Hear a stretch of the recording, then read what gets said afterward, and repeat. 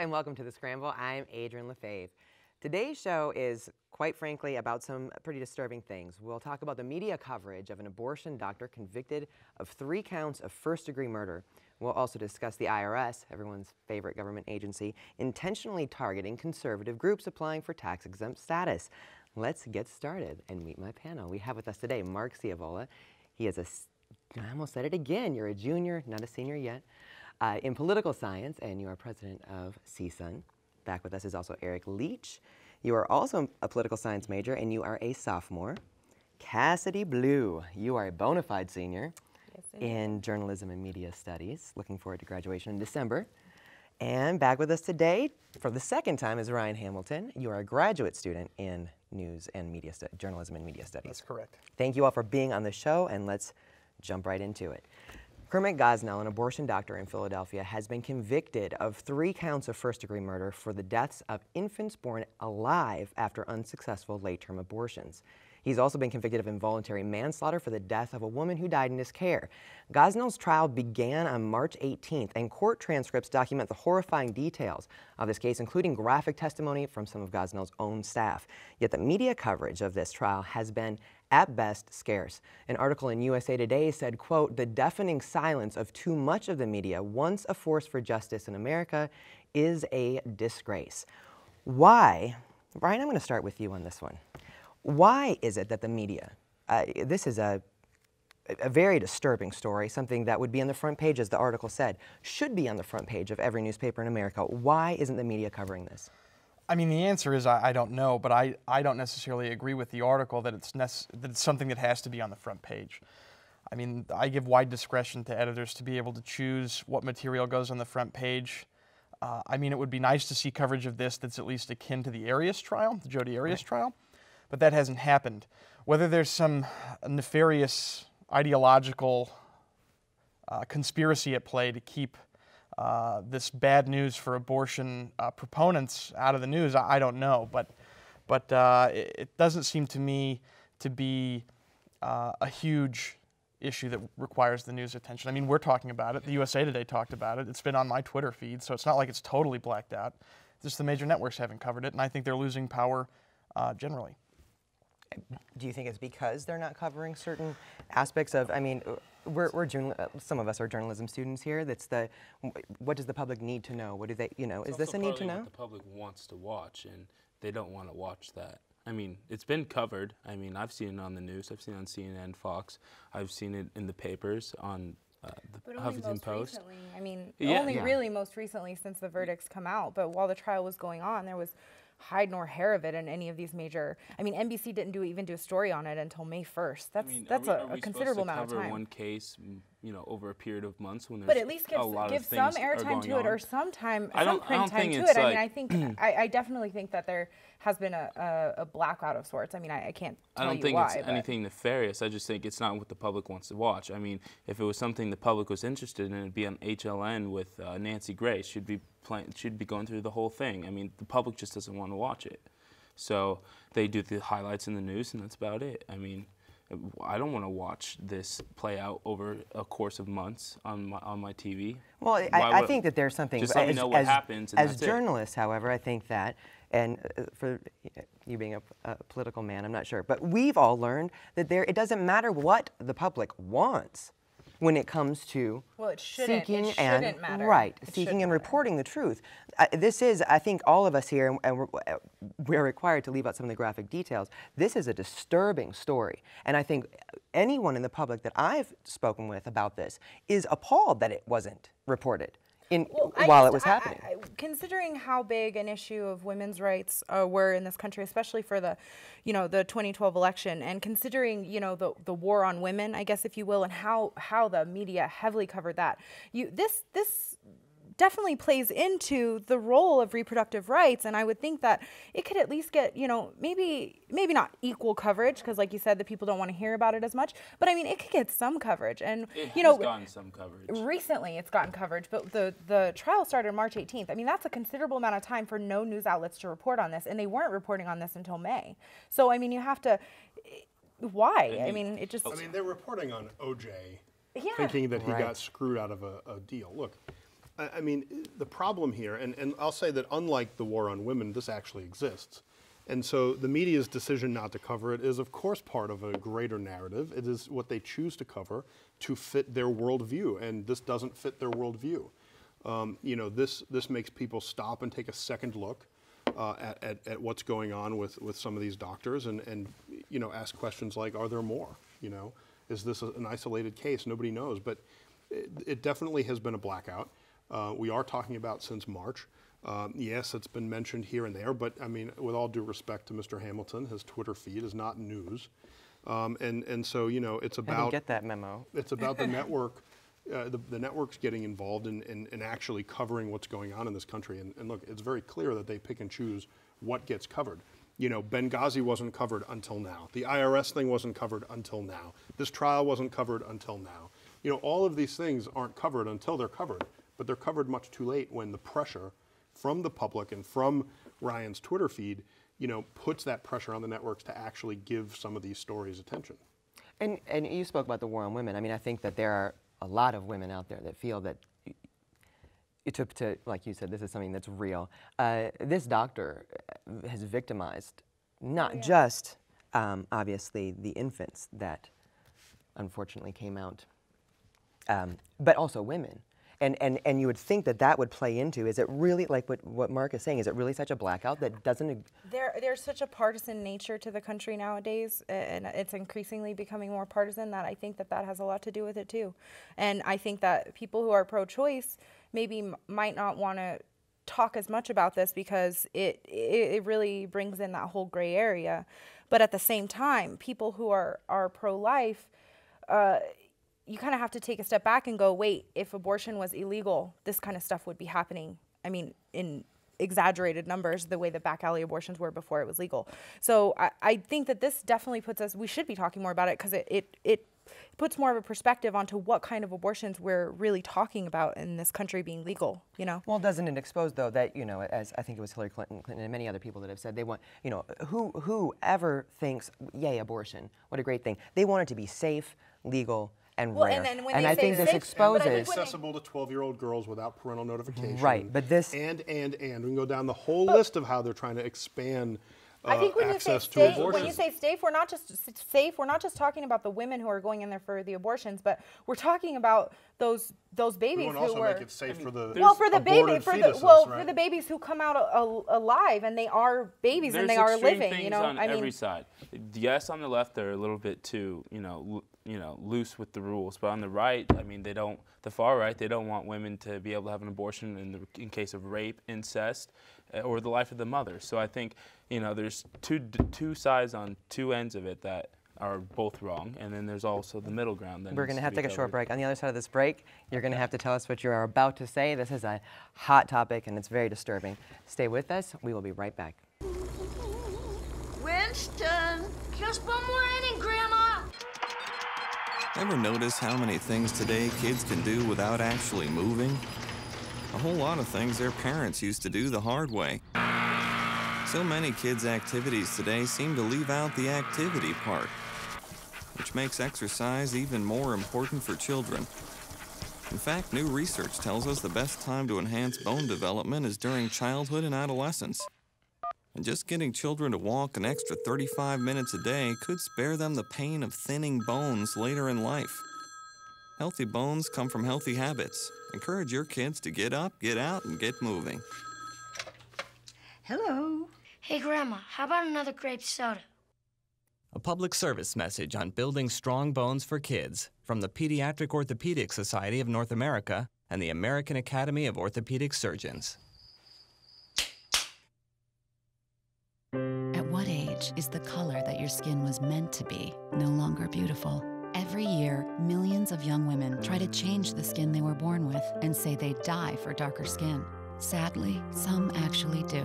Melanoma is the second most common cancer in teens and young adults, and one person dies from melanoma every hour. Change your thinking, not your skin. Stop tanning. Learn more at spotskincancer.org. A message from the American Academy of Dermatology. We're uh, talking today about uh, Kermit Gosnell, abortion doctor, who's been convicted of first degree murder of three infants, three out of the four that he was charged with. Um, it's a disturbing story. Uh, Ryan, before the break, you were about to uh, share with us the implications that this may or may not, since it's not covered very much and it's not really motivating the public, have on policy.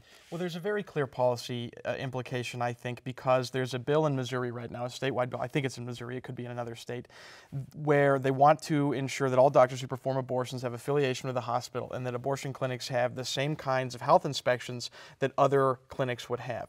And right now, that's not necessarily the case. And I think that a lot of the people who are pro choice object to this by saying that this is just a backdoor way to limit abortions. But if Gosnell's case proves not to be isolated, and we don't know that it is, or we don't know that it isn't, because a lot of times that information just isn't available. Uh, but this kind of this kind of case proves that we do need more inspection. So I think that there needs to be some discussion of the case in reference to that. Additionally, I think Mark's point about age restrictions and other types of uh, what I would call reasonable limitations on abortion. This case has a lot of implications because if you're a 12 year old girl and you walk into Kenneth Gosnell's clinic, you might not come back alive or you might be traumatized or scarred, right? And the government's place, if nothing else, is to make sure that the clinics are safe for women, right? No, or should 12 year old girls be allowed to go in if this is the state of the abortion industry in the United States or, or the abortion care in the United States? So I definitely think that there are relevant points to be discussed. Uh, Do you think the that there will be a, a you know, a, those in the pro-choice um, movement, do you think that they will be open to discussing this policy? What is so wrong think, with being regulated in that in way? The pro-choice um, community, if you will, will be willing. It's the pro-abortion community that won't be willing. See, and, and, and, what's the difference? There is, there's well, a huge difference. I can tell you there is a huge difference, and I am I am the, one of the differences. I mean, I I agree that abortion should be legal, but at the same time, I mean Um, moral, you have to leave morality out of it. And if I brought my own morality into it, then that would be a whole other thing. But you have to keep abortion legal because of the repercussions, because things like this would happen in so much more prevalency. And like he said, you need government regulation to regulate, to regulate, to make sure that these abortion clinics that they are safe for women, they are safe, you know, for the for even if a child goes in, that, that they are safe. And so I think that the only way to do that is to keep abortion legal. And, and I think added regulation isn't going to be as hard as to tack on because if you think about it, the, you know, the hard, you know, the hard left that supports, you know, unlimited access to abortion is a small, small minority. Most of the country is pro-choice, but we're not. You know, most of the country isn't. It's not. It's qualifiedly uh, pro-choice, I would say. Yeah. not just open well, to yeah. any abortion Anybody at any time. Most most people, I personally, I'm, most reasonable I don't people are going to be. But policies seem to support disgusted the fact that by this. This is all. I mean, during the break we were talking about is is is part of the difference between pro-choice people and pro-choice, uh, pro-choice and pro-abortion people, uh, that some are part levels. of the industry. Well, right. I mean, Planned Parenthood is is a hundred million dollar a year organization. They make money. They charge for abortions. They receive government subsidies, which they claim goes to uh, non-abortion. Right, right. which must be Upwards five of, to ten percent of their clientele. Right, essentially, right. or uh, the occasional a women's health screening or STD screening. I wouldn't say that they're so occasional. I mean, let's not brush it off like that. I'm not denying. I'm right. not denying the fact that maybe federal funding. I mean, I'm not saying a that. third of but all they, abortions in the country. But they people. do a considerable amount yeah. of health, provide health care for women whatnot. who do, cannot afford it and who don't have it. So, I mean, to say that they're very minimal is, I think, uh, wrong, a um, fallacy. I missed what you just said. They perform a third of all abortions in this country. They're very busy people.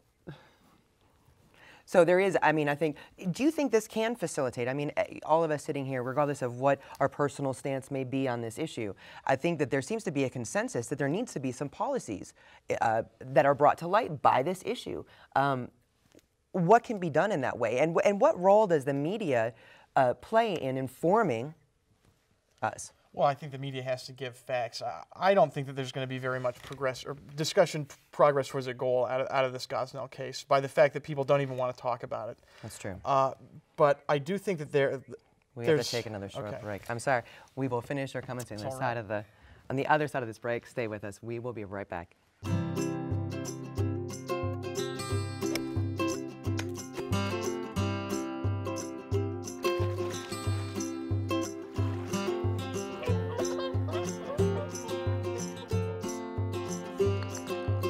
Found every hazard out here today? Think again. The spot you missed could be a killer. That spot on your skin could be skin cancer.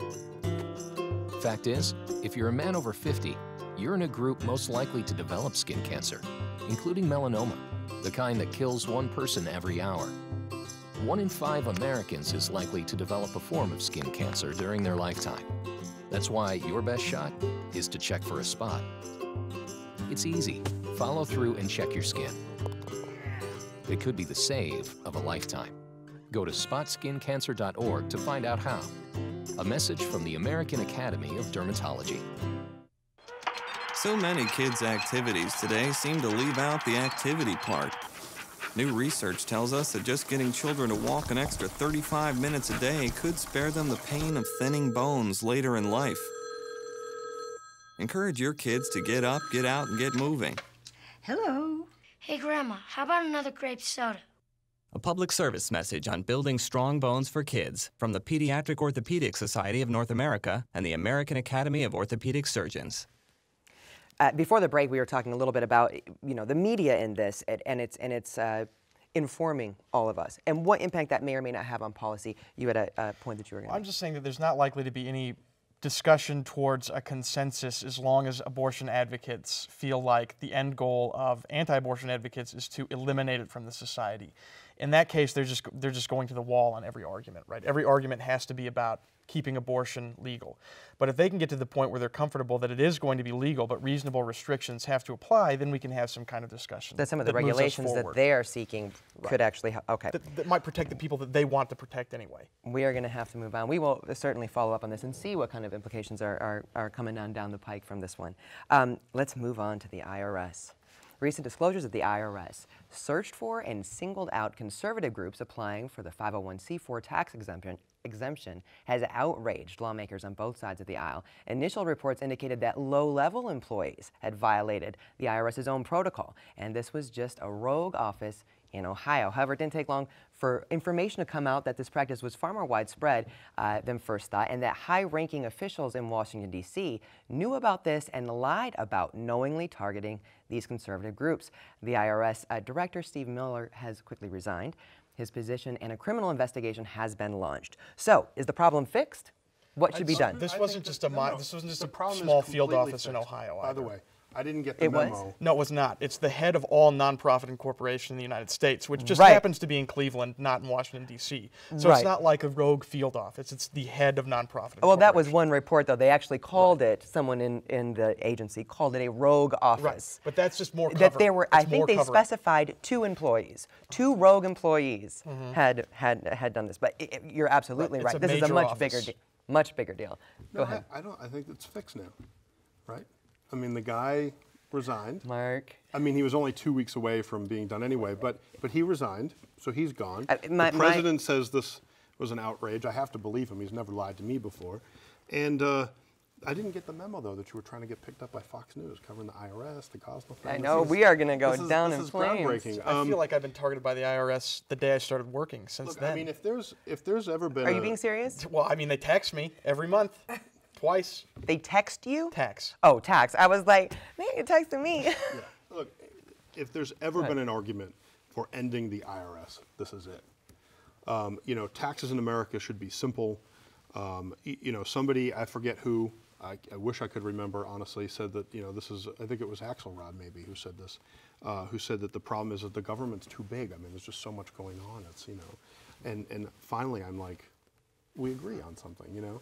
Um, I, I think this is outrageous. I think that the president is uh, should take responsibility for this. There's no doubt about that. Um, I don't think that this is resolved. I think that there needs to be a special prosecutor. I think there needs to be a full-blown investigation to get to the bottom of why our nation's, uh, you know, tax arm is targeting specific people for political purposes. And until that happens, I think we should all be concerned. Eric, you've been kind of quiet here. I mean, Weigh I, in. th- I think it's I think it's an outrage, of course, but I, I don't think that we need to go through all this hoopla that we're going Hoopla? through. Yeah, like yes, it's it's a uh, it's they shouldn't have been doing it, but I don't think there's a need for a special prosecutor. I think the DOJ can handle it themselves. Eric Holder? Um, Yeah, Yeah. he handles a lot of things quite well.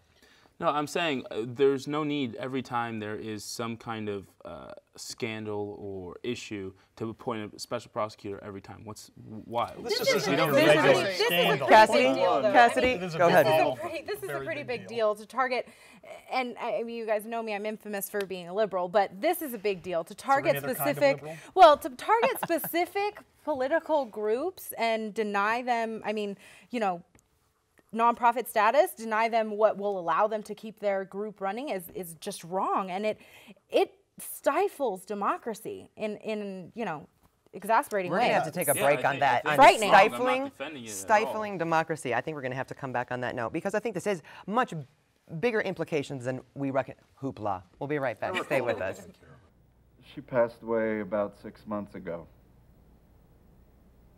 Sure, yeah, they missed their mom. It was hard to learn that there was no cure. You know, you don't want to see somebody that you love suffer. So we sought hospice care. Hospice people made her feel comfortable and pain free. At first, the girls didn't know what was going on. They, uh, the girls knew that mommy was sick, that mommy wasn't feeling well, but they didn't know that mommy was that mommy was going to die. I don't have always have the answers, the best answers to the questions that they're going to ask about what's going on, and uh, often the hospice people would would be there, and they helped. You know, they helped me and the girls through just an incredibly hard time.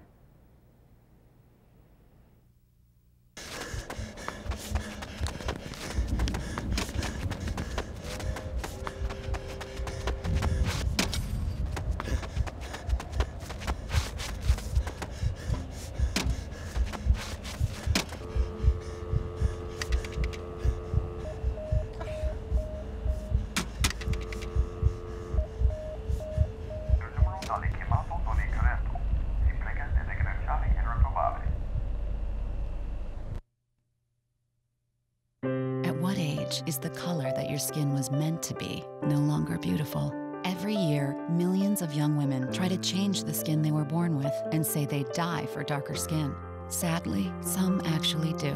Melanoma is the second most common cancer in teens and young adults, and one person dies from melanoma every hour. Change your thinking, not your skin. Stop tanning. Learn more at spotskincancer.org. A message from the American Academy of Dermatology. We are in the middle of a passionate discussion on the IRS. Who knew they could be so exciting?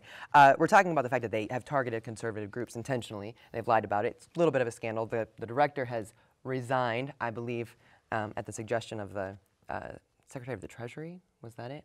Um, disturbing, for sure. And I want to bring up an, another uh, level of this. This is the agency that is going to be in control of uh, healthcare for all Americans. Who qualifies? What healthcare plan, plans qualify? If your healthcare plan qualifies. Um, what is the implication here when you when you know the, the problem has been fixed? They're going to weed it out. There's a criminal investigation, but the fact of the matter is, this is this goes a little bit deeper than uh, mere hoopla. I'll let you. I'll let you go. Oh, I, I, of course it is. I mean, not only did they did they target conservative groups, they targeted media, they targeted affiliate journalists, uh, major network hosts, they targeted bloggers, print writers, and they released conservative groups to opposition media. They released their tax records to opposition media. So if we're going to be talking about people's health care records, if you get someone like John McCain, who's an older man running for the presidency of the United States, his health care records are now in the hands of the IRS that could pose a problem that they hold the, the medical records of anyone who's going to run for political office, right? That might be leaked to opposition groups. So I think it, it, this demonstrates the huge problem when you just say, oh, the government's going to do it right. We can trust the government. Can't trust the government. They've never been able to do anything right. Pretty much the only thing they can prosecute well is warfare. And that's not the organization that I want to run my health care, that I want to run the schools, or anything like that. So we need to seriously take a, a step back and look at whether or not this is the government that we want for the future. And I would agree with you, it's not mere hoopla. My imagination is Eric feels kind of silly for that remark at this point. But It was the wrong choice of words. I, I mean, I It's a great the word, though. Agencies definitely need more oversight, but at the end of the day, Oversight. Oversight, yeah. But at the end of the day, there's always going to be employees in every branch of government, in every in every private sector that um, that violates the rules. I mean, that's it's human nature. We all- I, expect that it's going to be violated, but my hope is that the safeguards in those agencies will catch those violators and will prosecute them, which in this case is is starting to happen. You know, I mean, Bloomberg, their own employees were spying on um, CEOs and journalists and uh, investors. So I mean, this isn't isolated just to the government. So who's to say at a private company they're not going to release those same records anyway? Oh, yeah, but Bloomberg the, is pro- in. the problem is, is that when you have the same government that's benefiting from their actions doing the investigation, you can't really expect much to come out of that. That's why you need a special prosecutor. You know, if it turns out that every IRS employee in that Cleveland office donated to Obama in the last presidential campaign, which I believe it did come out today, um, then you have an issue, Eric, and you can't just say hoopla, we'll worry about it later, or you know, I expect He it is to be investigated. I'm not saying The- that. I'm the- saying it's wrong and it should be the- investigated and but they it should be can't prosecuted. investigated by the guy they donated money to in the last presidential campaign. You're assuming they're all coordinating. We, you have yeah, they Oh, couldn't yeah. possibly be I'm coordinated. pretty sure they've admitted as much at this point by the man You know, resigning. I mean, this That's is the this is ridiculous. No, and I want to know if he's getting a retirement package that we're going to have to pay for now. I mean, this is this is ludicrous. And anybody who thinks this is just well, you know, things happen, so you know, we'll just move This past is certainly an I'm unfolding drama. obscene. Gentlemen, gentlemen, we have to take another short break. Stay with us. We will be right back. Winston! Just one more inning, Grandma! Ever notice how many things today kids can do without actually moving? A whole lot of things their parents used to do the hard way. So many kids' activities today seem to leave out the activity part, which makes exercise even more important for children. In fact, new research tells us the best time to enhance bone development is during childhood and adolescence. And just getting children to walk an extra 35 minutes a day could spare them the pain of thinning bones later in life. Healthy bones come from healthy habits. Encourage your kids to get up, get out, and get moving. Hello. Hey, Grandma, how about another grape soda? A public service message on building strong bones for kids from the Pediatric Orthopedic Society of North America and the American Academy of Orthopedic Surgeons. Is the color that your skin was meant to be no longer beautiful? Every year, millions of young women try to change the skin they were born with and say they die for darker skin. Sadly, some actually do. Melanoma is the second most common cancer in teens and young adults, and one person dies from melanoma every hour. Change your thinking, not your skin. Stop tanning. Learn more at spotskincancer.org. A message from the American Academy of Dermatology. Were true, and I was Welcome, trying to get something out of welcome back from the break. I'm gonna, since you you're in the middle of talking, I'll go ahead and give you the la- the last word on this one. We've just got a little Uh, bit of time left. If I were trying to get something out of the IRS in a way that uh, they did not approve of, I'd be going to jail. So the reverse should absolutely be true for the IRS. They should there have should the same criminal- stake. Oh, unquestionably, the same stake in it that they they routinely put people in jail uh, for not paying their taxes. So this is going to go down. We definitely will continue to follow this one. Um, stay on these unfolding dramas. But now you know what we think. Let us know what you think. Share with us your ideas, uh, opinions, um, topics. Email us at thescramble.unlv. I'm sorry. Yes, thescramble.unlv.gmail.com. And you can also catch episodes of The Scramble, uh, full episodes at UNLV. UNLVTV.edu. Next week will be more about the federal government, the Associated Press, and uh, Benghazi. So we hope uh, you will join us next time. For everyone here at The Scramble, thanks for joining us, and we see you again next time.